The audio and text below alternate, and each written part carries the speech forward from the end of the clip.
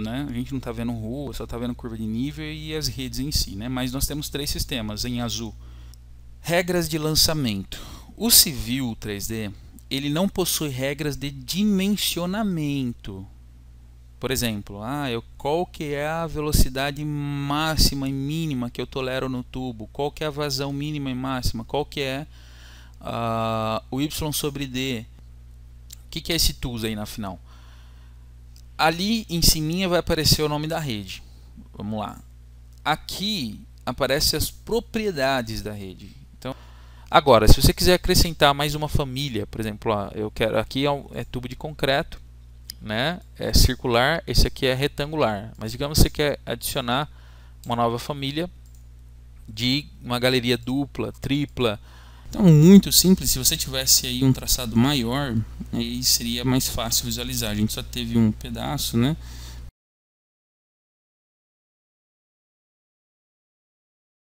Conceito e normas de projeto.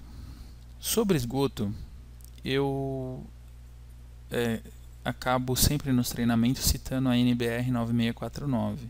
Então, por que, que eu estou citando esses materiais aqui, né? Porque eles estarão disponíveis em literaturas lá na pastinha do, do Drive. Essa diretrizes básicas para projeto de drenagem, na verdade, fala do município de São Paulo, mas é aplicada é, a Guarulhos, né? É, o município de São Paulo em si. E, enfim, então eles também vão estar disponíveis como literatura base para essa nossa videoaula as, além de outros arquivos que eu também vou deixar para vocês baixarem como material de apoio. Alguns ícones, né? Então, o que, que são esses ícones aqui, né? De setinhas, em formato de setinhas, né? Diferente dos outros da seção e da planta que a gente não tem, mas no perfil a gente tem. Pessoal, é, esses trechos aí estão se cruzando. Então, onde vai ter essa bolinha vermelha, é, são trechos em que tu, os tubos, os sistemas é, projetados estão se encontrando. Então, isso em vermelho é ENCAD. Tá? Civil 3D e as determinações e os métodos de cálculo, né?